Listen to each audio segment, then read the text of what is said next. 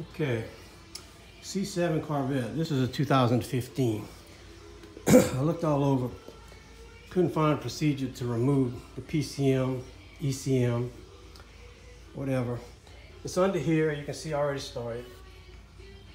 This is what I've discovered. Okay, first of all, you know, you got to jack it up, take the tire off, wheel off. Undo all of this here, this little thing here. Okay, move it out of the way. There's a screw back there. It gives you a little bit of help. Uh, you gotta undo the bottom one there. And uh, you can see my PCM's already hanging.